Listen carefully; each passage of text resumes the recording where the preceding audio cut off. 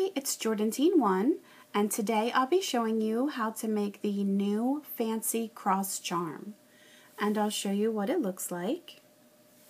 In this one I used white and navy blue so you can see it's a little bit fancier looping than just making it go straight up and down and across. It has different parts where it's narrower, gets wider, and then moves back in again. Back in April, I had done a mini cross charm, and I will show you what it looked like. And since then, I have gotten a lot of requests to make a larger version, so that is why I came up with this. You're going to need either a rainbow loom or a monster tail to make this charm. So if you're using the rainbow loom, you want to have it set up so the pins are in line with one another and you'll be working with six pins in the shape of a rectangle. I'm going to be showing it on the monster tail today. And so again, I'm using the six pins in the shape of a rectangle. And for my rubber bands, I have white and purple. I have 36 of the white and 16 purple. So I'm going to start by placing a band from the bottom left over to the center right. Going to be white and I'm not going to twist. And now I'm going to take a second white band and it's going from the center pin on the right to the top left. Again, there's no twisting. And now I want to take a purple rubber band and quadruple this on this center pin on the right. So I'm going to just place it on my hook, twist and put it back on, twist, put it back on, twist and put it back on. Now if you find like your bands are really tight and you're having a hard time to do this, you can just triple this, but I like to quadruple it to give it more of a point. And now I'm going to place it right on that pin. It's going to be a little bit tough to get on, but hopefully if your bands are stretchy, you won't have as much of a problem.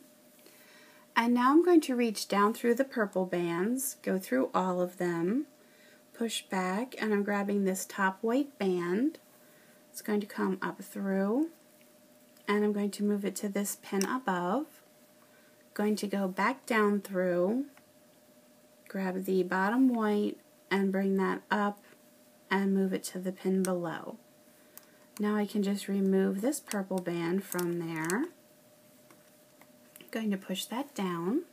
And next I'm going to place two white bands one is going from the bottom, from the left to right, and the other one's going to go on the top pins from the left to the right. And now I want to remove this bottom layer.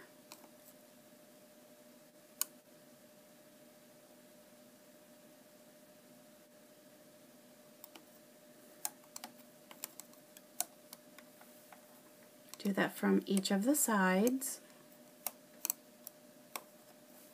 and push down. And now I'm going to take the white bands that are on the ends, I'm going to take the inside part of them and move them to the pin above. So on the bottom here, I'm just going to grab the top part of that band and loop it over the middle pin. And then the same thing for the other side. And now for this upper band, I want to take the lower part and again loop that around. So it's going to make two squares over the pins. Do the same thing over here. And now I'll place three purple bands from the left to the right. They're just all going straight across.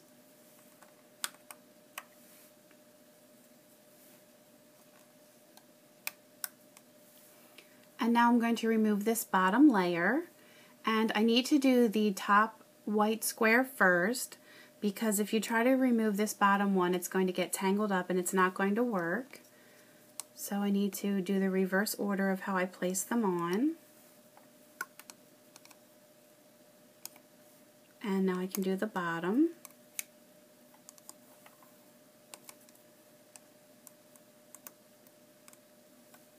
And push this down. Next, I'm going to place two white bands, one on the bottom and one on the top.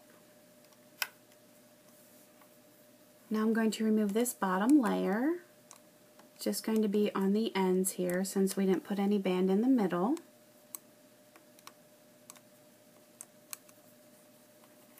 And now I want these white bands to actually move up. So I'll start at the bottom here, taking the one on the right and moving it up, and then the one on the left. And now I want the top white band to move down. This is going to allow me to loop that purple band and get it to go over all of these so I can narrow this. So now the purple can come off.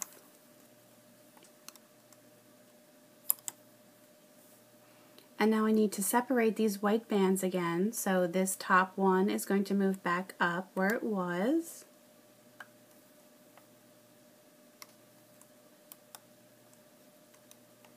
And now the bottom one can move back down. So it is a lot of back and forth with this, but this is what's allowing me to go from a wider to narrower or narrower to wider looping of the bands. Now I'm going to do another layer of white that's just going to be at the top and bottom.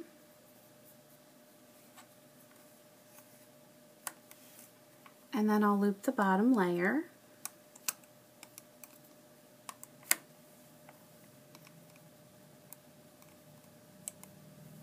Push this down.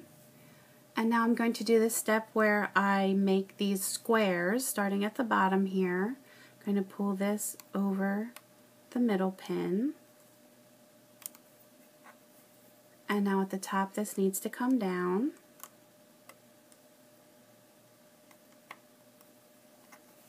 And now I'm going to do three more purple that are going straight across.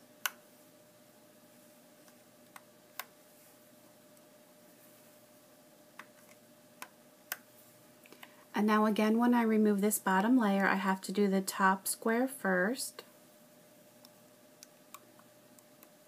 And now the bottom.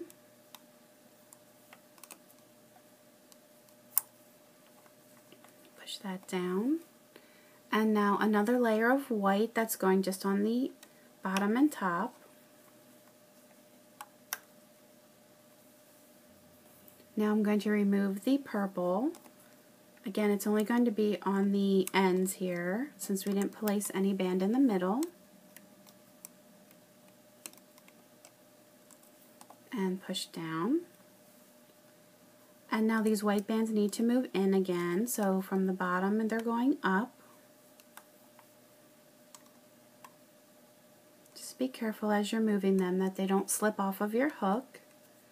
And then from the top it's coming down.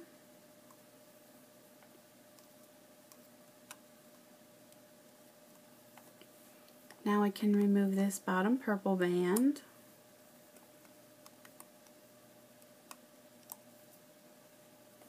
And now the whites need to move back to their original positions. So the top one's got to move up.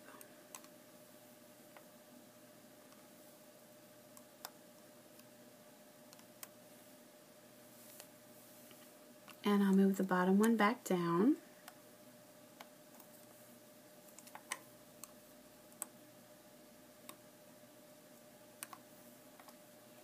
And now I'm going to place two more white bands, one at the top and one at the bottom.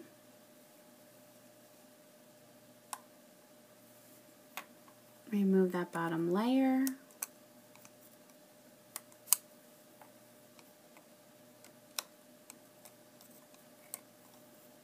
Push down.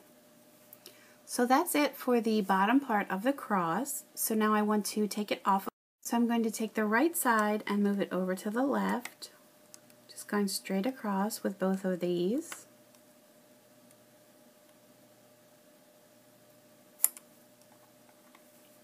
And if you only have one hook, you can use that hook to remove this.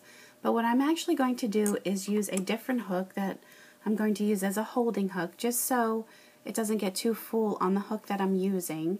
But you can do it on just one hook. But I'm going to take a different hook here. I'm going to reach down through these two top bands, get them on my hook, pull them off, but leave them on the hook part. hold them with my thumb, I'll reach down through and pick up the other two. And now I can just straighten this out.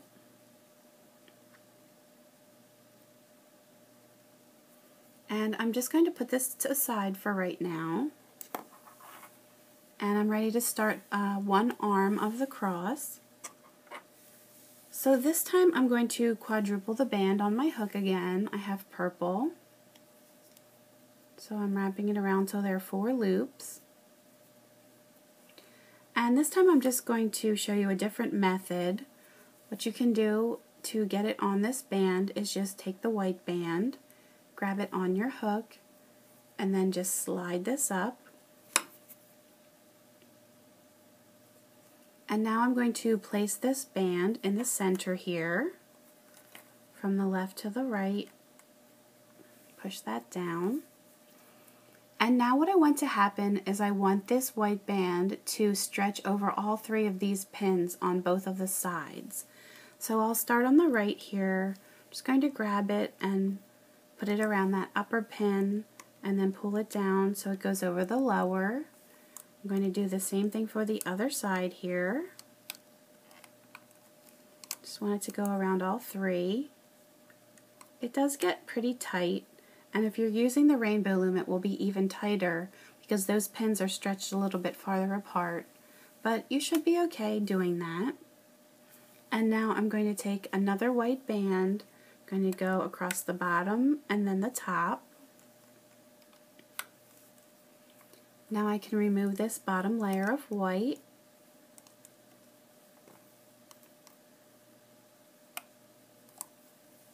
And push that down. Now I'm going to do a layer of purple just on the bottom and the top again.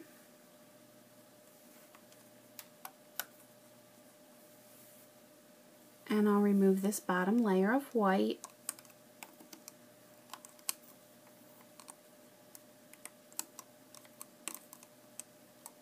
and push down. Now I'm going to make those squares again where I want the inside part of the band. I'm going to start at the bottom here. It's going to go over the pin above. And now at the top here it's going to come down below. And now I'm going to do three white bands that are going straight across.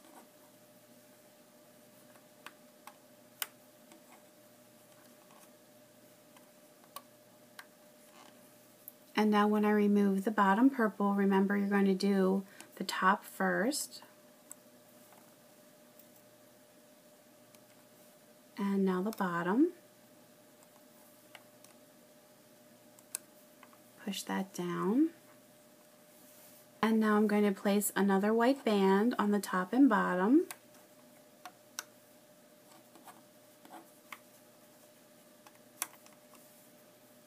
I'm going to remove that bottom layer. It's only going to be from the ends.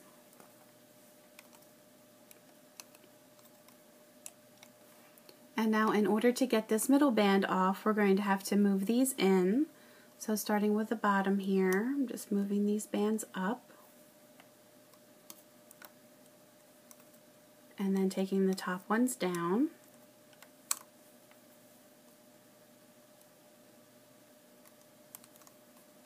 And now I can take this bottom white and it's going to go over top of the two above it and push down.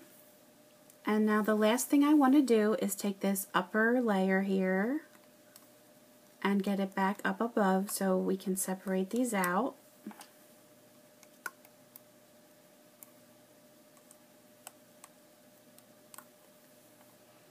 And now I'm ready to take this one arm off. So I'm going to take the bands and move them over to the left. I'm going to take my holding hook where I have the bottom part of the cross.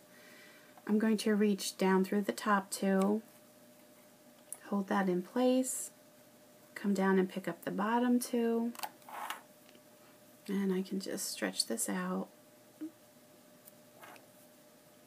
And now I'm going to place this aside again. So the next part I'm going to do is going to be the top of the cross. So again for this I'm going to quadruple a purple band. And now I'm going to take a white. I'm going to just slide it on. Get it in the middle there. And then I'm going to place this on the center pin, going straight across. And now I want to spread out this white so it goes over both the top and the bottom pins. It's going to make like a triangle on both sides.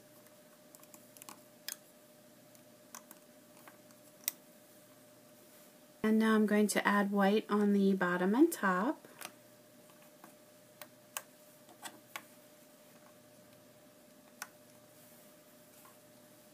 I can get the bottom to come off.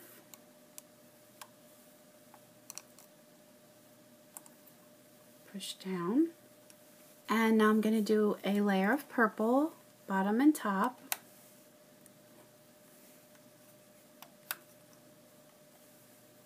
Remove the bottom white.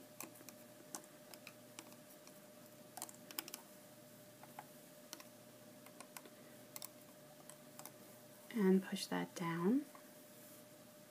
Now I'm going to move in the purple, making those squares. So hopefully once you do a couple of these, you'll get the pattern. It's not always exactly the same for the arms and the top and the bottom, but they're always similar. And now I need three white to go across.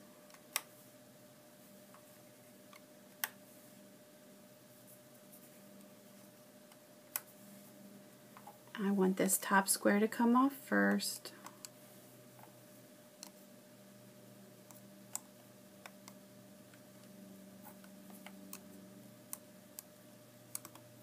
And push down. Now the ends are going to move in, so the bottom's going to move up. And the top can come down.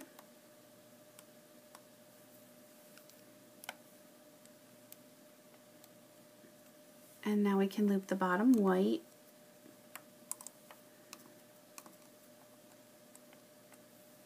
And then finally this top layer of the white has to go back. So it's going back up.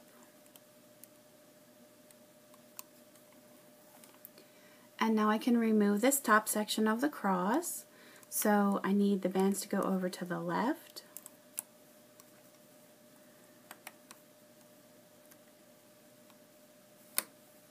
And this time I am going to use my hook that I've been working with. So I'm just going to start at the top, get them on my hook, get the next two. Just kind of pull this down, get it straightened out. I'm just going to slide it back on my hook so it's out of the way. I have one more arm to do. It's going to be the same pattern as the other arm. So I'm going to quadruple the purple. Slide it onto a white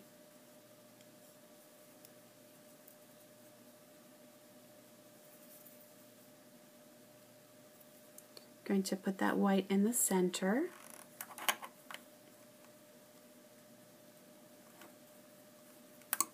And now I'm going to stretch the sides out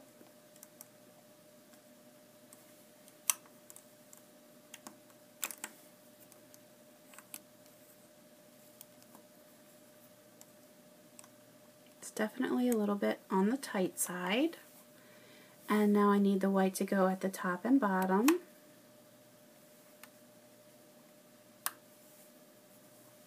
And now this can loop over those.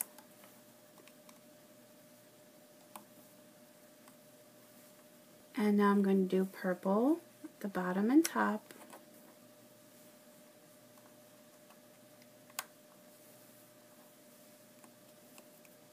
Do the looping.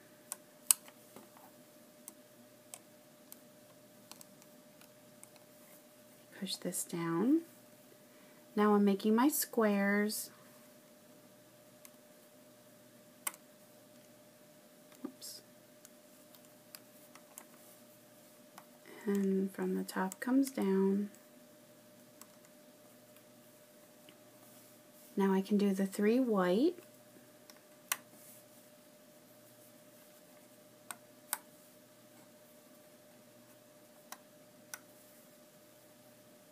And I can remove the purple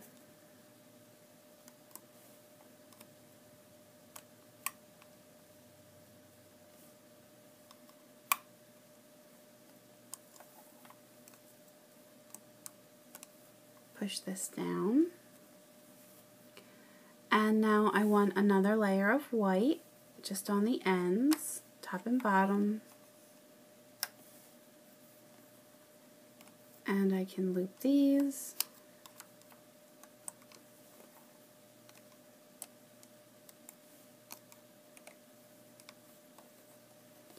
And now I still have to get this middle one looped, so in order to do that, I have to move the bottom ones up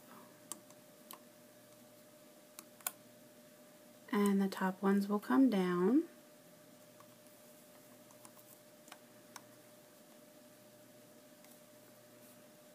Can loop the bottom. And now lastly, I need this top band to spread back out. So it's going to move back up.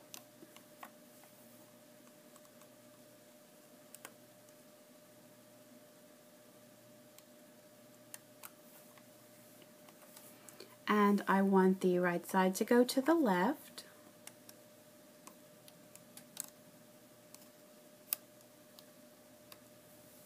And now I'm going to take my hook, grabbing the top two, and then the next two. And I'll just straighten this out on my hook.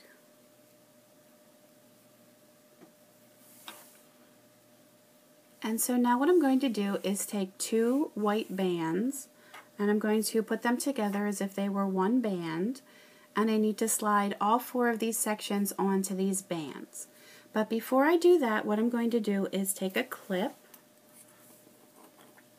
So I have an S-clip here and I'm just going to hook these two bands on the one end, put them together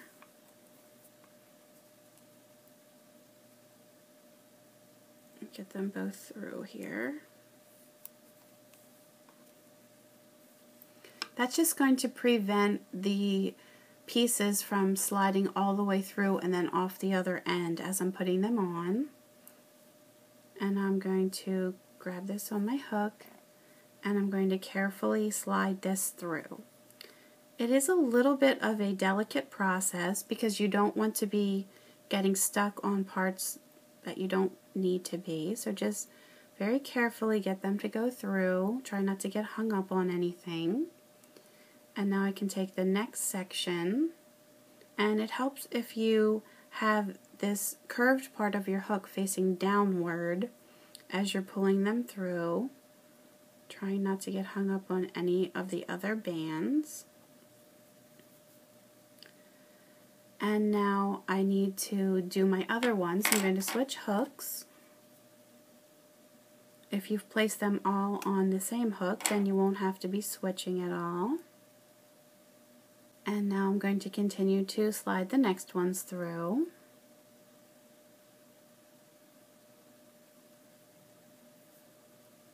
And then this last section. And now what I'm going to do is take the two bands that are through the clip and I'm going to slide them back on my hook. So now I have the one end and the other end of the band that's holding all these together. I can remove this clip. And then I'm going to take one more additional white band and I'm going to slide it through. It's going to go through all four of these bands and I need to get the other end back on. I'm sliding one end through the other to make a slip knot and then you want to pull that nice and tight so it's not going to come apart. And so now you need to just adjust your bands a little bit to get it more into that cross shape. So the arms need to come down.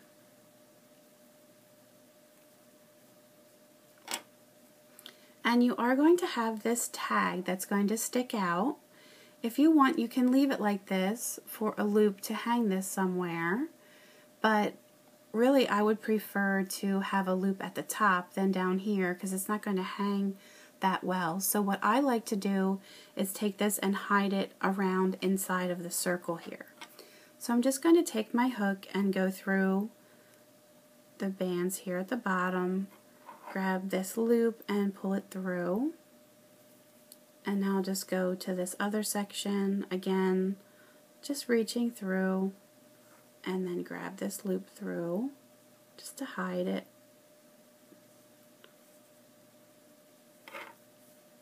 And then if it's still sticking out, you can go to the next section and pull it through there. I hope that everyone had a good time making their cross charm. You can always leave me comments on YouTube and Facebook, post pictures of your creations to my Facebook page, and please feel free to subscribe to my YouTube channel so you can stay up to date on my latest tutorials. You can also find me on Pinterest and Instagram, so please feel free to subscribe to those as well. Thanks for watching!